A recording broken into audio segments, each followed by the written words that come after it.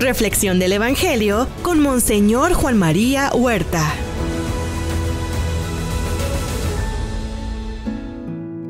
Gracias por estar en Guadalupe Radio. 15 años contigo y vamos a la escucha de la palabra del Señor este día 4 de septiembre. Tomamos el Evangelio según San Lucas capítulo 6. Un sábado Jesús iba atravesando unos sembrados y sus discípulos arrancaban espigas al pasar las restregaban entre las manos y se comían los granos. Entonces unos fariseos les dijeron, ¿por qué hacen lo que está prohibido hacer en sábado? Jesús les respondió, ¿acaso no han leído lo que hizo David una vez que tenían hambre él y sus hombres?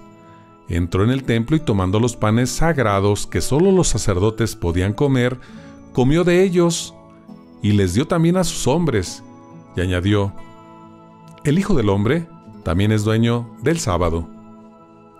Palabra del Señor. Gloria a ti, Señor Jesús. Este texto habla de cómo había algunas normas ya para observancia del sábado, el séptimo día, y cómo precisamente en la exageración de la observancia del sábado se les olvidaban asuntos más importantes como era el bien, es decir, se evitaban tantas cosas que se les olvidaba hacer el bien.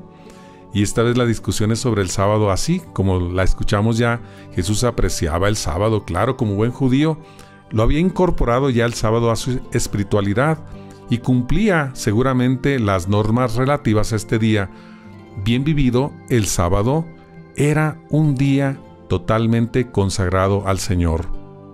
Pero lo que aquí se critica y lo hace Jesús, es una interpretación exagerada de ese descanso sabático. ¿Cómo puede ser contrario a la voluntad de Dios el tomar en la mano unas espigas, restregarlas y comer sus granos cuando se siente hambre? El argumento que él aduce es el ejemplo de David y sus hombres, a quienes el sacerdote del santuario les dio a comer panes sagrados. Esto se encuentra en el primer libro de Samuel, capítulo 21. Jesús habla realmente con autoridad y poder. Se atreve a reinterpretar una de las instituciones más sagradas del pueblo, el sábado, pero sobre todo les hace caer en la importancia de él en relación con el sábado. El Hijo del Hombre también es dueño del sábado. Reflexión del Evangelio con Monseñor Juan María Huerta.